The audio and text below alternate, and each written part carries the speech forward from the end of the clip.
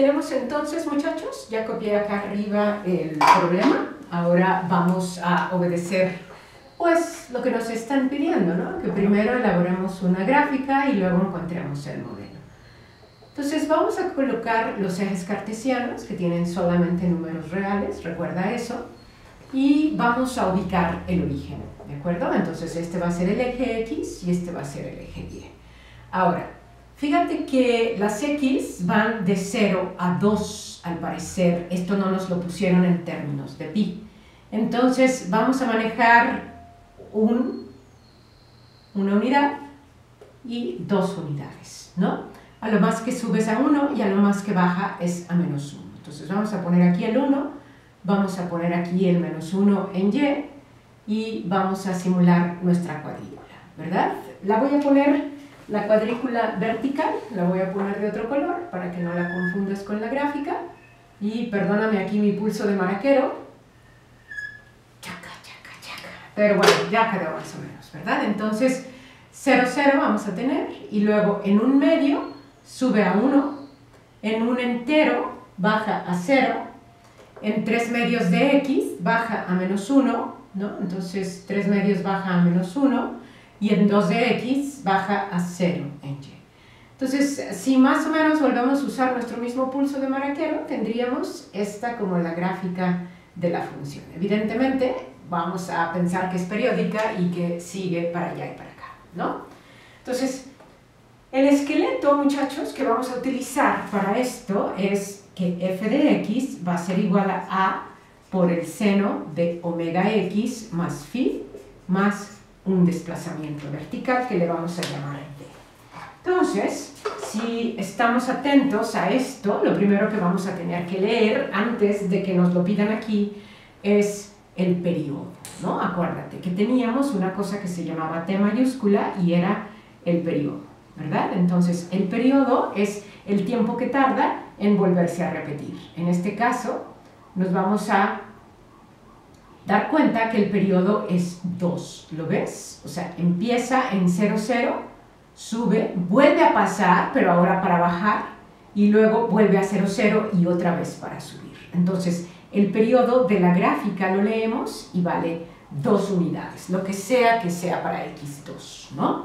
Entonces, inmediatamente después de que tenemos el periodo, acuérdate, periodo era igual a 2pi sobre omega, entonces nosotros podemos calcular omega y decir que es igual a 2pi entre periodo, ¿verdad? 2pi entre periodo. Entonces, vamos a decir que omega es igual a 2pi entre 2, y eso nos queda que omega es igual a pi. ¿De acuerdo? omega es igual a pi. Vamos a ver si estamos haciendo lo correcto. El periodo es 2, entonces 2pi entre omega y omega es igual. Bien, ahora vámonos a la amplitud. La amplitud, muchachos, habíamos dicho que es la distancia que va de la línea media a una cresta o de la línea media a un valle, ¿verdad? Entonces aquí vamos a decir que de la línea media la línea media te la voy a marcar con rojo, es esta, ¿verdad? La vamos a tomar la amplitud como U. Entonces, la amplitud se lee de la gráfica, al igual que el periodo, y en este caso, o lo puedes decir como esto, ¿no? Punto máximo menos punto mínimo entre 2. Y eso, ¿a qué nos llevaría, muchachos? Que tendríamos que la amplitud es igual al punto máximo, que es 1, menos el punto mínimo que es menos 1 dividido entre 2. Entonces 1 y 1 son 2, dividido entre 2 te da 1 y 1 es la amplitud que es lo que estábamos leyendo de la gráfica, ¿verdad? Ahora, yo les dije, pónganse abusados, no nada más calculen la amplitud, sino que fíjense si hay una inversión o una reflexión, ¿verdad? Y entonces yo te pregunto, ¿está invertida la función seno que estoy viendo aquí? Si estuviera invertida, estaría naciendo hacia abajo y subiendo después. Sin embargo, no la veo invertida, la veo normalita, ¿verdad? Entonces, ¿hay una inversión? No. Entonces no le cambio de signo, ¿ok? Hay que preguntarnos siempre eso. Bueno, entonces ahora ya tenemos la amplitud y ya tenemos la omega. Vamos a calcular la D antes de irnos a phi. Y para D, muchachos, acuérdense que no es otra cosa que la línea media. Voy a recortar un poquito esta gráfica para que nos deje espacio de pizarrón. Entonces, D no es otra cosa que la línea media.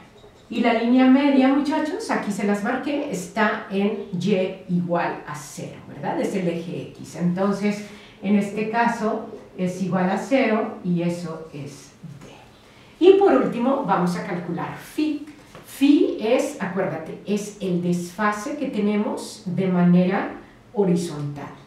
Aquí estamos viendo que nació en 0,0, entonces lo más probable es que el desfase, ojo, pero va a estar afectado también por esto. ¿eh? Entonces, lo más probable es que el desfase sea cero, pero vamos a ver si es cierto. Vamos a calcular un punto por donde pasa y más que calcularlo, leerlo de la gráfica. Entonces vamos a tomar un punto sencillo, un punto práctico que traiga cero. Entonces estamos leyendo 0,0, que es este mismo punto que tenemos aquí, ¿verdad? Entonces, ojo, esta es una x y esta es una y que le voy a llamar f de x, ¿no? Entonces, de mi estructura, de mi modelo, que todavía no tiene carnita, le voy a ir poniendo carnita, ¿no? Entonces, f de x es igual a a. a, pero ¿cuánto vale a? a habíamos dicho que vale 1, puedes no ponerlo. Seno de omega, omega la calculamos aquí, muchachos, y omega es pi, ¿verdad? Seno de omega x, este, más phi, que no conozco, más d, que vale 0. Entonces, ahorita la única pregunta que me queda es, ¿cuánto vale phi, Cristi? ¿Verdad? Y la respuesta la vamos a tener apoyados en ese punto. Quiere decir que cuando x vale 0, muchachos, toda la y vale 0, ¿verdad? Entonces vamos a sustituir eso y vamos a tener algo como esto. Te va a quedar que 0 es igual a seno de 0 más phi. Este 0 ya no lo tomo en cuenta. ¿verdad?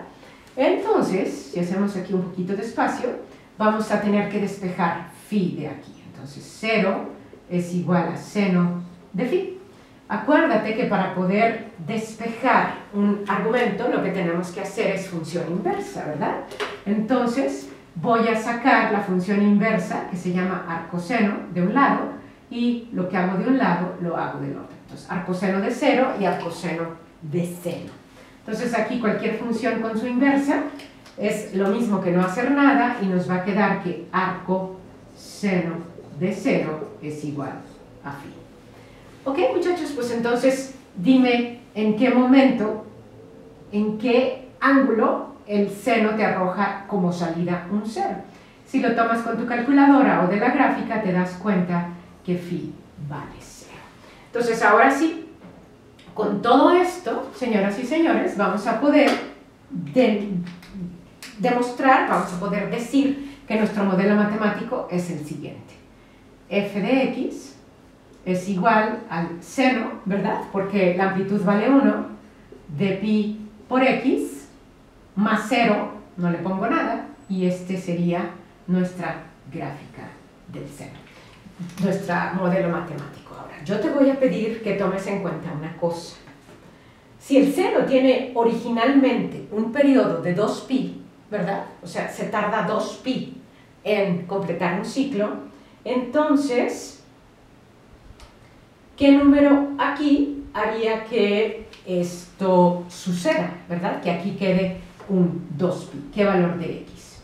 Entonces, x tomaría el valor de 2 para que se complete un ciclo, ¿no? entonces x tomaría el valor de 2 para tener seno de 2pi. Eso quiere decir, muchachos, que un ciclo completo, veanlo acá en la gráfica, toma dos unidades. ¿sí?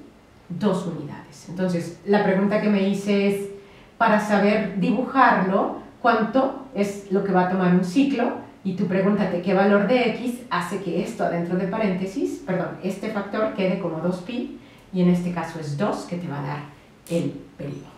¿verdad? Bueno, entonces ahí está el modelo matemático, vamos a hacer otro ejercicio.